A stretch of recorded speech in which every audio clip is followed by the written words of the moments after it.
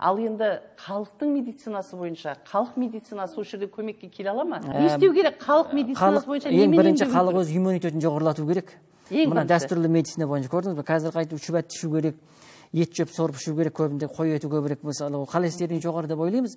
Бірақ оның қой етінің қойдың майының бұл ауруға қарсылық қуаты жақсы. Өйткені біздің өкпеде сурпактант деген нәрсе болады.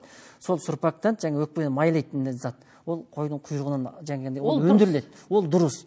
Сондықтан да біз шүбәт қымыз жалпы жаңа жылқы етін қазы қарта дейміз ғой. Ал Иммунитет жылытып ішу керек па қымызды мысалы? Қымызды негізі жылтып ішу керек. Осындай аурумен ауырып жатқан адам жылтып ішу керек. Өйткені сонда ем тезірек иә тез болады. Өйткені ол мына асқазан өңеш арқылы жаңағы өкпе- өкпенің төменгі бөлігі байланысып тұр ғой. Сондықтан ол суық болатын болса өкпенің ары қарай қабынуын өршітіп жібереді сондықтан тамақты жылты ішу керек. Суық су жаңағындай мен Қымызды да, шұбатты қымызды да оны жылтып ішу керек. Өте суық ішуге болмайды. Холодильникке салып қойып жаңағы мұздатқышта суық бөлмелік температурада. Бөлме температурасын ішу керек. Түсінікті. Ал профилактика үшін оны да ішуге болады профилактика үшін әрине бұл ә, иммуномодулятор дейміз ғой. Иммунитетті көтеретін заттар. Иммунитетті көтеретін не ол?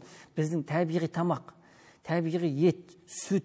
Ол жаңа бұлар жаңағындай ана Экологиялық таза экологиялық таза тамақтар.